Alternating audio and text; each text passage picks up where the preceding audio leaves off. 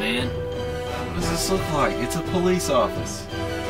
Thought it was that one hippie bus I took that one time when I was high. Hello, Juke Cop? Hey, yeah, I need lines on the game journal. Yeah, I want to know who's favorite. See that? See what? It's a person. Miss Normus, I have a question. Oh, okay. Can you find me your assistant?